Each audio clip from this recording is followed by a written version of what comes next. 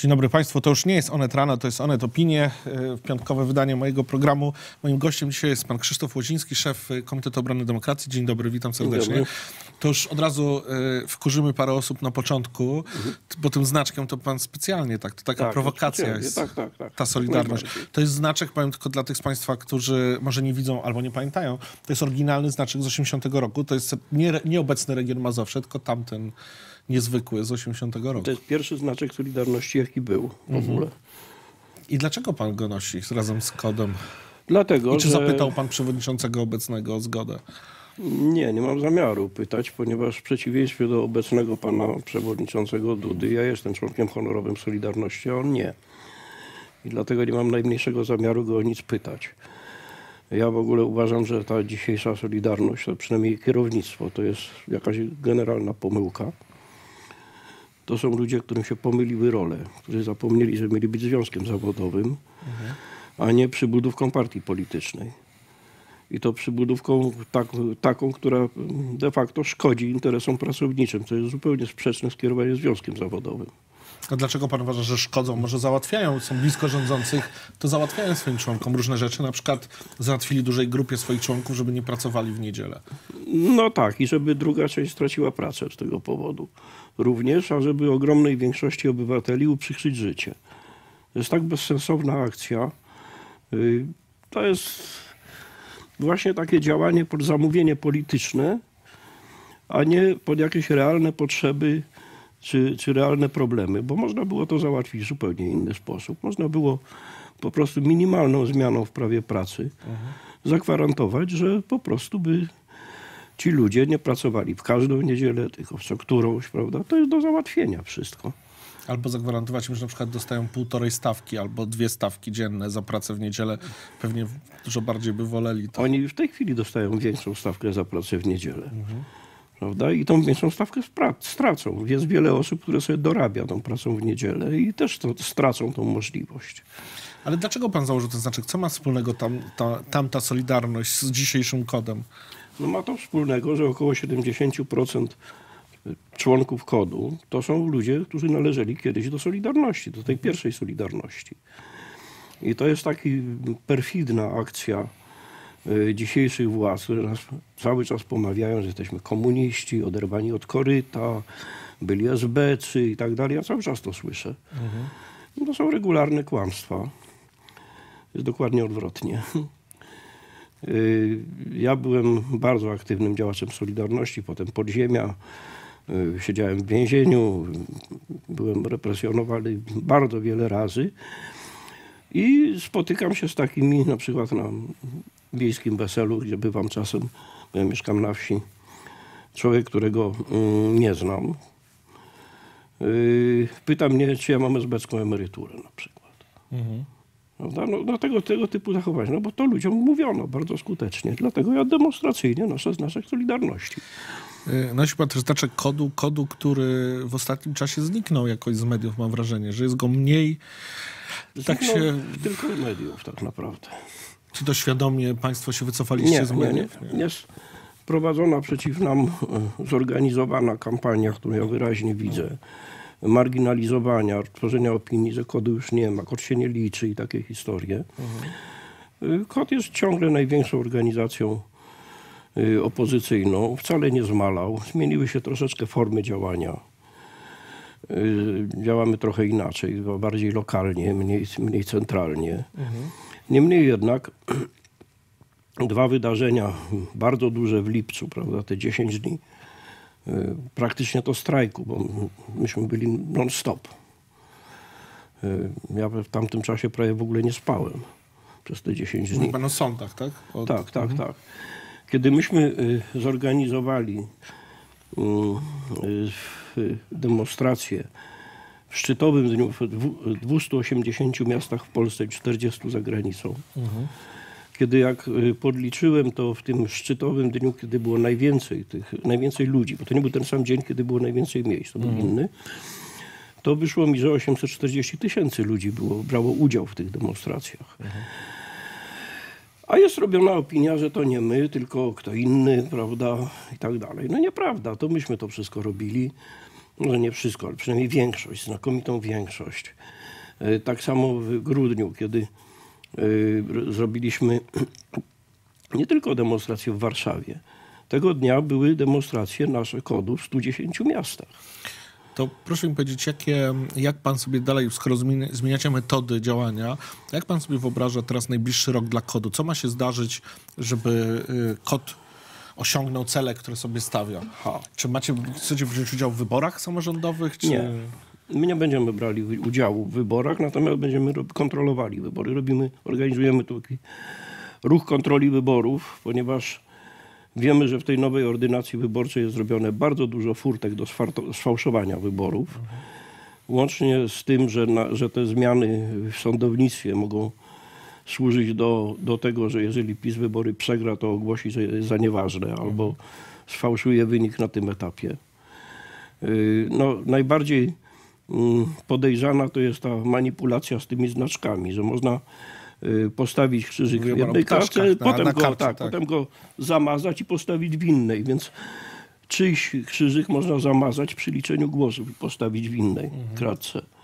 Prawda? Więc to, dlatego, dlatego konieczne jest obecność yy, ludzi Ale to znaczy, że y, wykorzystując też, rozumiem, y, nową ordynację, y, y, będziecie obecni w komisjach wyborczych? Czy kod chce być obecny w komisji? No musicie być obecni przy liczeniu głosów. W komisjach wyborczych będą mężowie zaufania partii politycznej. E, Będziemy starali się być przy, przy, przy, w lokalach wyborczych. Będziemy, y, no różne formy, na przykład możemy ankietować ludzi wychodzących, na kogo głosowali, prawda, takie badanie robić. Możemy obserwować, jak te głosy są przewożone. Po to znowu jest taka podejrzana sprawa z tymi dwoma komisjami. No po co są te dwie komisje do liczenia? Jedna, jedna siedzi y, przy głosowaniu, a druga liczy głosy. To jest jakieś, jakieś bardzo dziwne rozwiązanie. No po to, żeby utrudnić sfałszowanie, no bo y, nie jedna komisja siedzi w komisji, znaczy nie jeden skład siedzi w komisji wyborczej przez cały czas. Rozumiem, że chodzi o to, że mogli dosypywać w trakcie, mogli dosypywać po, mogli się umówić po prostu. A teraz będzie to trudniejsze, no bo się ekipa zmienia, będzie trudniej to zrobić. No, dogadać tylko, się. tylko, że komisarzy wyborczych będzie mianował minister spraw wewnętrznych, prawda? To prawda. Tym razem, więc y, są duże podejrzenia co do obiektywności tej drugiej komisji. Czy ona będzie obiektywna, czy ona będzie uczciwa. Tutaj jest, poza tym mm, robią takie gesty bez znaczenia, które mają niby y, świadczyć o to, że to tak transparentnie, prawda, tego, na przykład przezroczyste urny. No przezroczyste urny wcale nie są takim genialnym rozwiązaniem. Po pierwsze, y, y, widać frekwencję.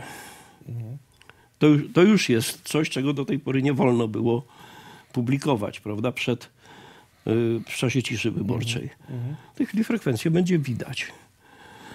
No ale te urny były przezroczyste też wcześniej. No też były, no, ale to nie, jest, to, nie, ale to nie jest żaden krok do przodu, niby mm, ku uczciwości czy tak dalej, bo to nie ma żadnego związku z uczciwością. Co do y, wyników głosowania nie ma żadnego znaczenia, czy urna jest przezroczysta, czy nie, tylko jak się głosy liczy. To jest istotne. A czy jak pan oglądał zmiany w rządzie, wymianę premiera i ministrów, to nie miał pan takiego poczucia, że y, Jarosław Kaczyński znowu w sprytny sposób odbiera y, opozycji, w tym również Kodowi, y, punkty do dyskusji? No bo wszyscy ci Ja straszni ministrowie odeszli. Ja mam inne Minister, premier jest fajny. Ja mam inne podejrzenie, że to jest typowy dla PiSu manewr mydlenia oczu i że on może w ostatniej chwili zrobić przy, przedwczesne wybory, wcześniejsze wybory. Y, I na to parę rzeczy wskazuje. No, Za każdym razem, kiedy robili wcześniejsze wybory, czy nawet w ogóle jakiekolwiek wybory, to się pudrowali, prawda? Chował się Kaczyński, chował się Macierewicz, y, wystawiali sympatyczniejsze twarze, a potem po wyborach wracali wszyscy ci sami z powrotem. Y, Język się zmieniał, prawda? Słyszeliśmy do przyjaciół Moskali, inne numery tego typu. Prawda? Potem wracało wszystko to samo. Także i tu jest takie podejrzenie, że no, mogą spróbować zrobić y, przy jednoczesnej możliwości jakichś fałszy, mogą spróbować osiągnąć większość konstytucyjną w ten sposób. Czy KOT może y, skutecznie walczyć, nie wiem, z, znaczy skutecznie zabiegać o odsunięcie PiSu od władzy bez ścisłej współpracy z partiami politycznymi, Trzeba z, z. Platformą i z Nowoczesną, i nie wiem, z SLD, Znaczy, z nam, całemu społeczeństwu wmówiono taką bzdurę, że współpraca z partiami politycznymi to jest coś złego. No, proszę Państwa, żaden kraj nie jest w stanie funkcjonować bez polityków. Przecież my nie będziemy ani kandydować do Sejmu, ani nie będziemy w Sejmie głosować. Prawda? Jakie te partie są? Takie są, innych nie mamy w tej chwili. I poddanie się takiemu pomysłowi, że nie współpracujemy z partiami politycznymi, to jest po prostu punkt na rzecz PiSu. No. Zwyczajnie oddajemy punkty. No więc, a to jest zwłaszcza, zwłaszcza wśród młodego pokolenia takie, takie mniemanie, że to jest coś obrzydliwego z partiami politycznymi. To nie, to jest konieczność. Dla każdej organizacji prodemokratycznej to jest konieczność. Pan y, kiedyś przepowiadał w takim swoim tekście, y, że pojawi się terroryzm w Polsce, że się poleje krew. Pamięta pan, jak pisał o Breiviku? Tak. Czy takie doniesienia, jak na przykład ostatnie doniesienia o tych y, idiotach w krzakach, czyli o neonazistach, to pana zdaniem jest krok w tę stronę? Czy... No znaczy to jest wiele kroków, dlatego że są jakby trzy bardzo niebezpieczne zjawiska, które są, się dzieją jednocześnie od nie, już nie, nie tylko dwóch lat, one się dzieją dłużej. Od dwóch lat nabrały intensywności. To jest z jednej strony pobudzanie wszelkich ruchów neofaszystowskich, czy wręcz faszystowskich, yy, ich hołbienie Pobudzanie i hołbienie przez kogo? przez y, partię rządzącą obecnie. Zachęcanie, chwalenie, wypowiedzi Kaczyńskiego, że to są dorodna młodzież patriotyczna. Ale on nie mówił o neonazistach w ten No, sposób. on mówił o kibolach akurat w tym momencie. Y, Poza tym y, to, że pani Mazurek jak pobili ludzi, to ona ich rozumie. Rozumie emocje. Nie... Rozumie emocje, tak. rozumie emocje. Y, Mariusz Błaszczak nie dopatruje się i tak dalej, tego typu. To są tworzenie mm, atmosfery przyzwolenia i atmosfery bezkarności jednocześnie wobec tych ludzi, a jednocześnie pokazywanie wroga. To jest tak, że się pobudza te środowiska, które są skłonne do przemocy, które są skrajne, tworzy się nad nimi parasol ochronny i gadanie w banie, że nie, bo tak. I bo ich sprawy są bardzo często umarzane, niepodejmowane. No wszystko się robi, żeby, żeby, żeby ich nie ruszać.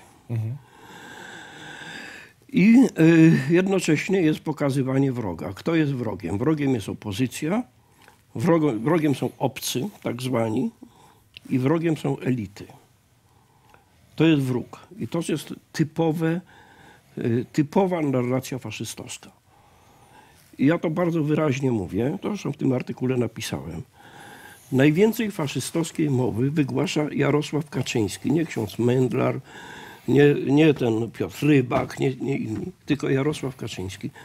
Jarosław Kaczyński mówi na przykład coś takiego, że jest podział ludzi na kategorie. Jest lepszy sort, gorszy sort. Czyli są nadludzie, podludzie. Prawdziwi Polacy, nieprawdziwi Polacy. No to, to jest Ibermensch i tak dalej. No, ale to jest takie, to trochę pan dokonuje takiego przeskoku, bo podobne rzeczy mówi Donald Trump. Nikt go jeszcze nie oskarżał o faszyzm póki co. O różne rzeczy go oskarżają, no ale nie o to, że jest faszystą. Ja mówię, że Donald Trump po prostu plecie. To jest trochę co innego. Aha. Czyli Donald Trump plecie, a Kaczyński, Kaczyński nie robi to w plecie. sposób cyniczny, przemyślany. To nie, jest, to nie jest, że mu się chlapnęło. Bo to jest zbyt wiele razy, zbyt wiele razy ta sama mowa jest. I w ogóle charakterystyczne dla ruchów faszystowskich jest szczucie na inteligencję, na elity. I przedstawianie elit jako czegoś złego. Mówię, kto to są elity? To są ludzie najlepiej wykształceni, najmądrzejsi, najuczciwsi, najbardziej kulturalni. I to jest to zło, na które się szczuje. Prawda? Drugie pojęcie poprawność polityczna. A co to jest poprawność polityczna? No, to znaczy jest to zachowywanie pewnej kultury wypowiedzi, jest to y, pe pewnych norm, postępowania i tak dalej. To jest poprawność polityczna. Tu się, tu się całkowicie zgadzam, bo ja jestem akurat zwolennikiem dużym poprawności politycznej, ale nie uważam, że jak ktoś jest przeciwny poprawności politycznej, to jest faszystą. Nie, nie, nie. nie. To aż tak nie można tego upraszczać. Oczywiście, że nie. Natomiast, y, natomiast jest to charakterystyczne. Jest na przykład strasznie dużo mowy rasistowskiej. Właśnie to opowiadanie o tym, że y, imigranci przynoszą y, pasożyty, wirusy, miazmaty i tak dalej. Przecież dokładnie w ten sam sposób naziści mówili o Polakach, o Żydach, że żyją w brudzie, że przenoszą choroby, że przenoszą pasożyty. To o nas, o naszym narodzie tak mówiono. I teraz ja słyszę to samo. Ja, nic nie usprawiedliwia Kaczyńskiego to, że on nie zna świata. Bo on nie zna świata, nigdzie nie był. On tych ludzi nie widział u siebie. I może dlatego takie bzdury plecie też trochę po części. To jest z jego, z jego nieznajomości rzeczywistości. Ale to są poglądy typowo rasistowskie. W ogóle pogląd, że są prawdziwi Polacy i nieprawdziwi Polacy, to już jest pogląd rasistowski.